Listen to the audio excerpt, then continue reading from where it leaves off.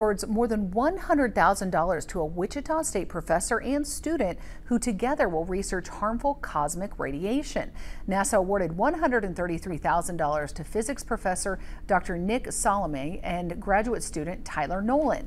The pair's research will be used to develop improved detectors of harmful cosmic radiation. Right now, NASA's radiation detectors are big, bulky machines. The goal is to develop a detector that uses less power and takes up less space. The pair will get to work directly with NASA's Space Flight Center in Huntsville, Alabama. Very cool. Good for them.